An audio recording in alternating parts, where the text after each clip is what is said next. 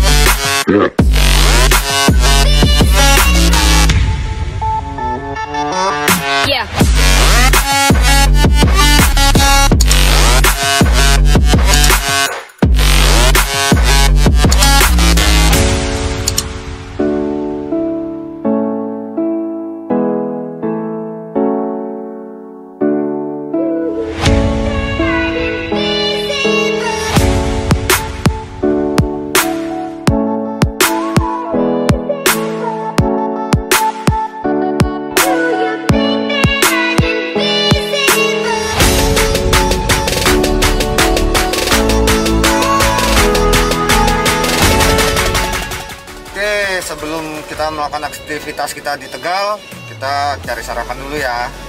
Kita mau sarapan apa ya?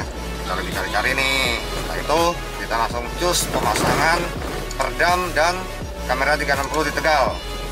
Sebelum kita berangkat ke Semarang untuk pemasangan Pajero.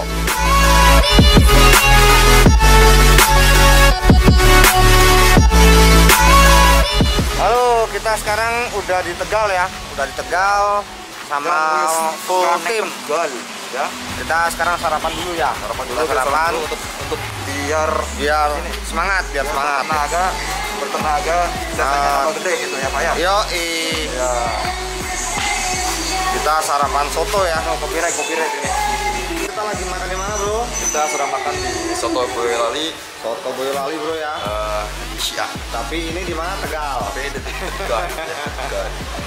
Kita masaknya eh, jauh hari ini ya sampai ke Jawa Tengah yaitu di Tegal.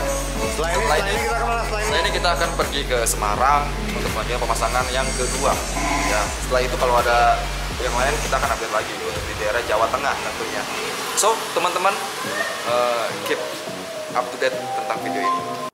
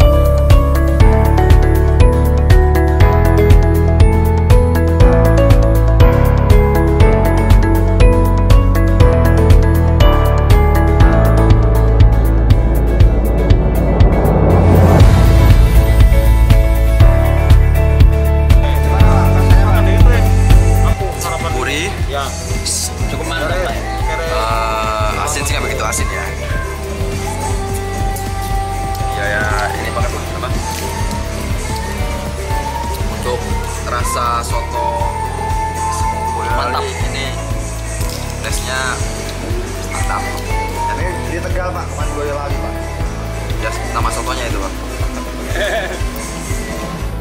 Akhirnya ya, tim AMG sudah sampai di Randu Gunting di Tegal. Nah, jadi sebenarnya tujuan awal kita itu ke Semarang untuk pemasangan mobil Pajero. Cuma kebetulan ada konsumen Tegal yang ingin juga upgrade mobil Honda HR-V-nya dengan peredam dan kamera 360. Nah, langsung aja ya dijelasin sama rekan saya, Helmi Saputra. Nah guys, eh, di mobil HRV ini kita akan pasang perdam menggunakan perdam Ground Zero. Ini barangnya. Tebal 1,8 mili, berbahan aluminium batil. Dipasangnya di empat titik pintu depan dan tengah serta pemasangan di under wiper. Under wiper sendiri kita mixing peredamnya menggunakan ground zero dan peredam sound absorber busa dari Sabencode. Kenapa harus seperti ini? Karena ini berguna untuk meredus atau mengurangi suara-suara noise yang terjadi di area seputaran wiper karena di area wiper itu ada lubang yang besar nanti kita tutupin dan akan kita tambahkan busa selengkot ini. Nah, tidak lupa juga kita pasang kamera 360 di mobil HRV ini menggunakan produknya dari Denwin 360 3D. Nah, ini untuk modulnya saya akan kasih lihat. Di sini modulnya bahannya solid ya. Terus sudah dilengkapi SD card, ada port SD card, ada ADAS yaitu blind spot sensor serta uh, master perkabelannya ada di sebelah kanan. Dan ini 3, kamera 3D yang harganya tidak mahal banget, tapi fiturnya uh, boleh dibilang apa ya komplit. Di sini fitur yang ditawarkan di kamera ini dia mempunyai blind spot yang mana di kamera lain itu belum ada yang mempunyai sensor blind spot untuk 3D. Jadi Denwin ini punya sensor blind spot dan ini sensornya ada dua di kiri dan kanan. Nanti kita tempatkan di atas dashboard untuk sensornya. Serta pemasangan kamera seperti biasa kita akan pasang di kiri dan kanan di bawah spion. Serta di kamera depan kita pasang di pas di area logo karena Honda itu area logonya pas banget untuk pemasangan kamera 360 serta di belakang kita akan tempatkan di penempatan originalnya kembali. Oke. Eh, ini juga head unitnya sudah di upgrade menggunakan Asuka AK1000 jadi tidak pakai head unit OEM nya lagi ya. Setelah itu kita lanjut ke pemasangannya. Simak videonya Oke, tadi sudah dijelasin sama rekan saya Helmi apa saja yang mau terpasang di mobil Honda HRV ini. Nah, di tangan saya sudah ada kamera belakang original daripada HRV seperti ini. Nah, ini soketnya, ini kameranya, dan di tangan kiri saya ini adalah kamera daripada eh, kamera 360 punya Denowin atau Enigma ya tempatnya ya. Nah, jadi nanti kamera ini akan saya pasangkan di kamera original. Jadi ketika terpasang itu benar-benar seperti original mobilnya. Jadi ketika terpasang langsung dilihat aja ya. Kamera belakang seperti yang saya bilang tadi, nanti kita akan merubah dudukan daripada kamera original ke kamera bawaan dari 360. Cuma tadi nggak sempat ke shoot ya prosesnya karena ada kesibukan lain. Nah, ini kamera original yang kita sudah lepas rumahnya. Dan ini adalah rumah HRV yang sudah kita pasangin kamera 360 nah nanti pemasangan seperti ini ya.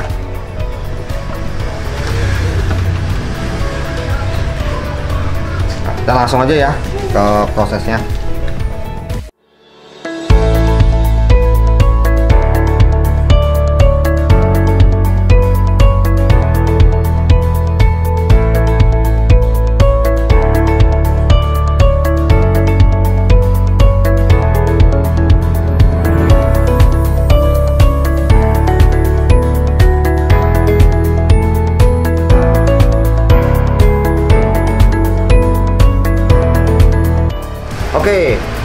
pemasangan kamera 360 itu ada empat titik.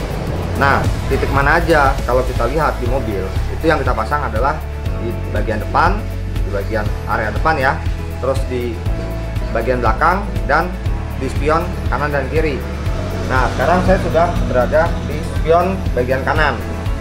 Nah, ini kita sudah lepas ya, kita sudah lepas. Setelah itu kita langsung lihat ke proses pemasangannya.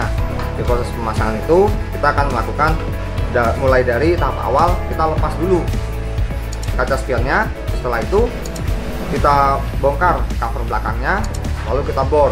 Jadi bor itu untuk memasukkan si kamera kanan maupun kiri.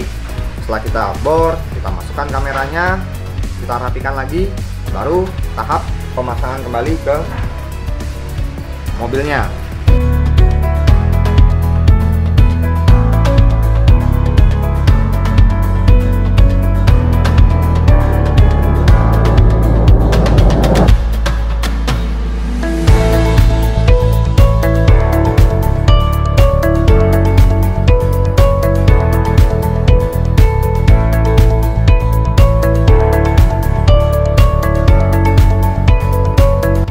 Tadi kita sudah lihat proses pemasangan kamera di spion.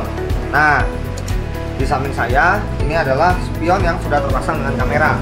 Jadi kamera terlihat di bagian bawah, dan bagian bawah yang sudah terpasang dan ini kita belum rapikan, kita belum masukkan. Jadi banyak pertanyaan ketika di foto atau di video kita, loh nanti apakah kameranya nonjol seperti itu, keluar panjang? Enggak, karena ini kan prosesnya belum kalibrasi. Jadi nanti waktu proses kalibrasi kita sesuaikan dulu kameranya, baru kita rapikan lagi. Saya sudah siapkan kamera depan dan dua buah skrup kecil. Nah, kalau kita perhatikan di sini saya juga sudah lobangi menggunakan bor. Kita langsung pasang aja ya untuk kamera depan. Jadi kita pemasangannya itu di area logo Honda.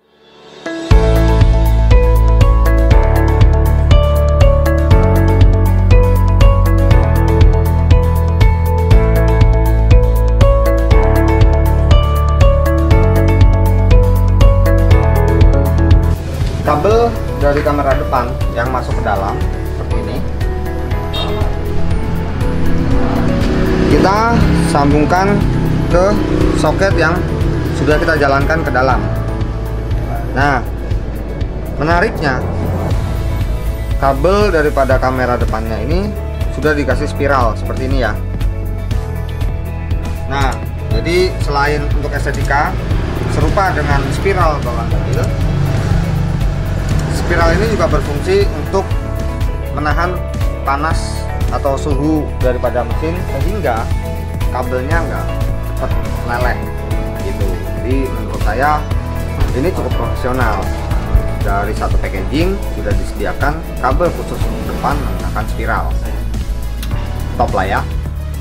Kita langsung ke tahap pemasangan perdam aja. Jadi selain pemasangan kamera 360 di Honda HR-V ini kita juga ada pemasangan perdam di lima pintu. Jadi pintu depan tengah dan pintu bagian belakang. Serta ada di under wiper. Jadi di bawah wiper itu kita gunakan perdam khusus. Tujuannya apa? Agar noise yang masuk ke dalam kabin itu menjadi sangat rendah. Oke sekarang kita langsung aja ke bagian door trim sebelum kita melakukan pemasangan perdam pastinya door trimnya kita bongkar. Nggak mungkin dong kita tempel perdam di door trimnya ya nggak? Ya udahlah bercandanya garing ya. Oke jadi kita lepas door trimnya lalu kita mulai tahap. Kalau kita lihat tahap-tahapannya adalah begini. Di pintu itu kita bisa lihat ada plastik yang sudah ada perdam perdam bawaan ya dari HRV yang sangat sedikit. Ini sudah menempel dengan batil juga sudah menempel dengan batil. Nah setelah ini kita nggak langsung timpa dengan perdam tapi ini kita lepas dulu semua kita bersihkan lem-lem yang menempel yang odol-odol ini tadi kita bersihkan semuanya sampai benar-benar bersih. Lalu mulai kita melakukan pemasangan perdam Nah, pemasangan perdam itu bukan langsung lubang ini kita timpa, tapi bagian dalam dulu, karena pintu ini kan dua lapis. Jadi bagian dalam kita pasang perdam, setelah itu baru bagian lubang-lubang ini kita pasang perdam. Nah, pemasangan perdam di lubang-lubang ini pun itu sebenarnya ada treatmentnya, cuma ya mohon maaf ya, uh, itu rahasia dapur, jadi saya nggak bongkar dulu di video ini. Jadi nanti saya hanya langsung memperlihatkan pemasangannya aja, tapi treatmentnya seperti apa, mohon maaf sekali saya nggak bisa bongkar di sini. Oke, kita langsung lihat aja proses pemasangan perdam.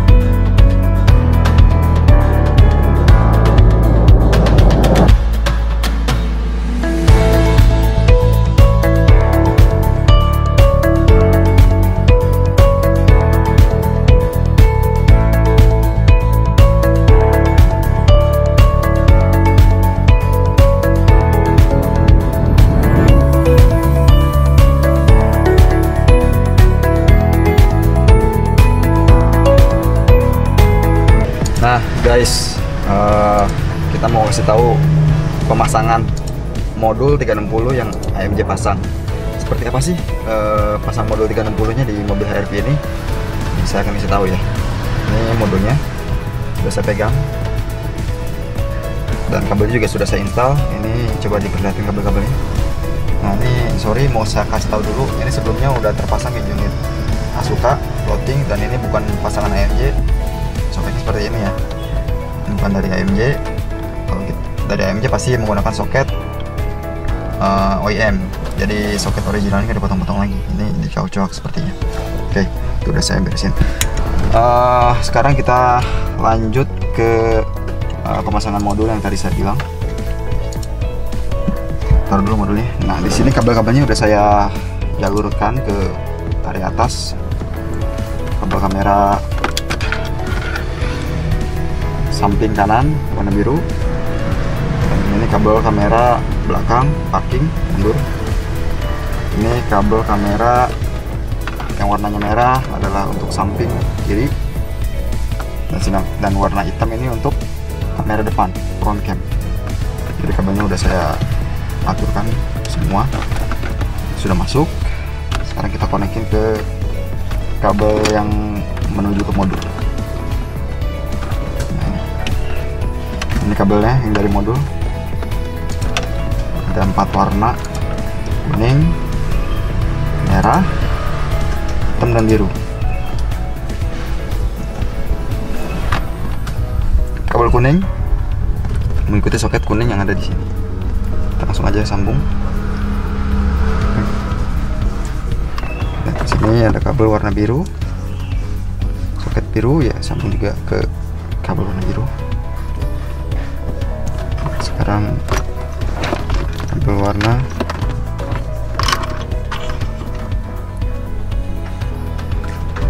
merah. Dan ini kabel warna hitam. Oke. Ini masih berantakan ya guys. Nih akan saya rapikan dulu. Nah kabelnya tadi yang saya bilang udah rapikan saya udah rapikan ya. Udah saya ikat-ikat kabelnya. Lalu sekarang kita akan koneksikan antara kabel dengan modulnya oke ini saya kasih lihat. Ini kabel masternya dari yang sudah saya rakit ini modulnya. Nah saya langsung aja klik. Seperti ini udah jadi ya kan? Nah ada satu soket lagi namanya soket adas yang, sebelumnya sudah saya jelaskan. Soket adas ini untuk blind spot. Ini juga saya sambungin. Plug. Nah, seperti ini. Sudah ya? Sekarang kita lanjut ke koneksi head unit. Sambung head unit. Nah ini soket-soketnya udah saya siapin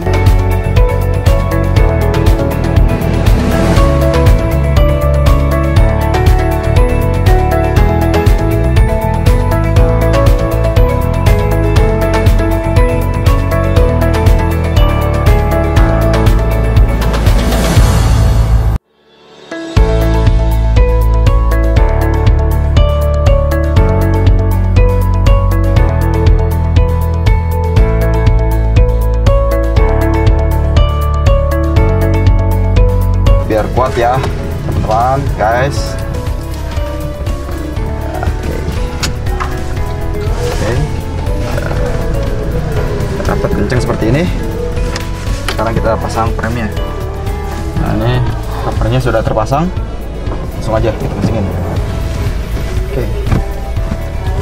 Kalau HRV mudah banget bongkarnya. Udah sekarang layarnya kita akan pasang dia floating. Yakin kan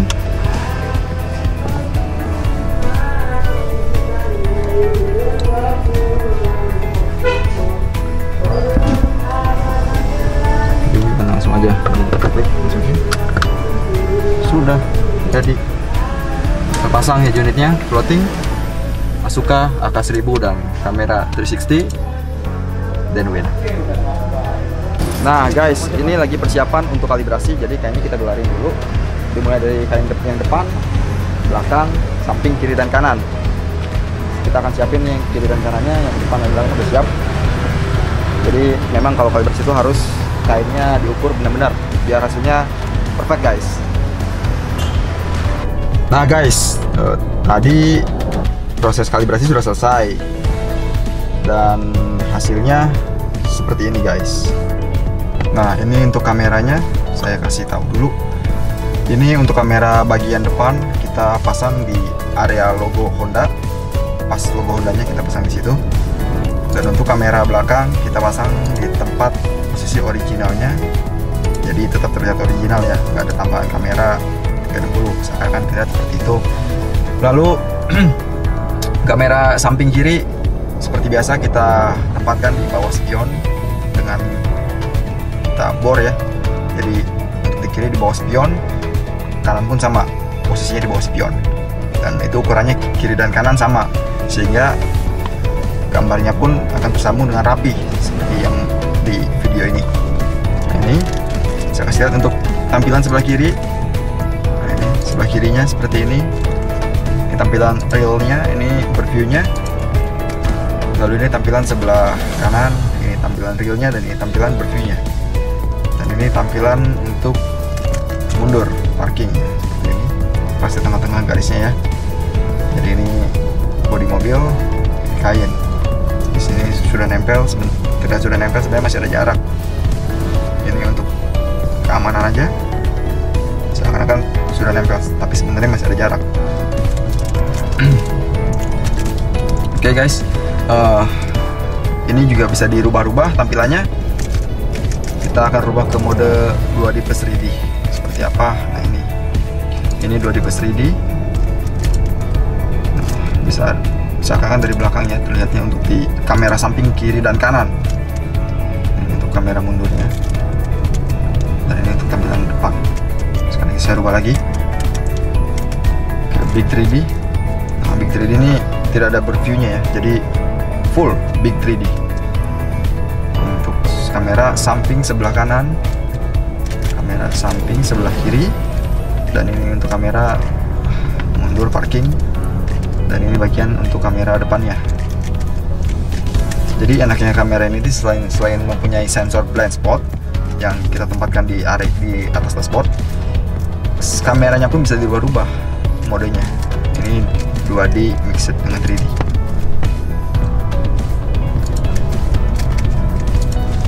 Oke. Uh, setelah itu mo model apa? Uh, model mobilnya bisa diganti ya. Ini masih default, kita ganti dengan Audi A6. Nah, sedan. Audi A6 atau mau diganti dengan model Audi Q7, BMW 7 Series. Di BMW seri 7.